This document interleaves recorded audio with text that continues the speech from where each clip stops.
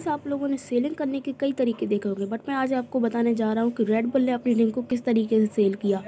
जब red bull ने अपनी ड्रिंक को लॉन्च किया तो उन्हें अच्छा रिस्पॉन्स नहीं मिला, इसीलिए उन्होंने क्या किया कि सड़कों पर अपनी ड्रिंक के खाली कैंस को रखवा दिया, जिससे लोगों को लगा कि ये कैन ड्रिंक तो बहुत बिकती है, इसीलिए लोगों ने उसको ख़रीदना स्टार्ट कर दिया। इसी तरीके से रेड बुल की सक्सेस होने लगी।